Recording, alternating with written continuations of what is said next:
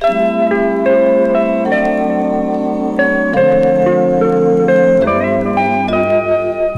can stop the sea from tossing?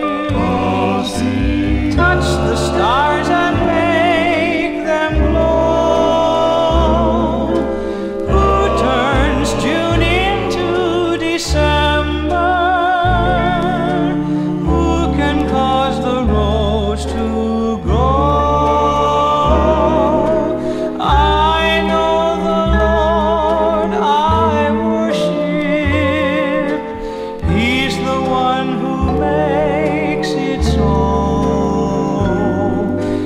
He's big enough to form the heavens, yet small enough to live within my heart.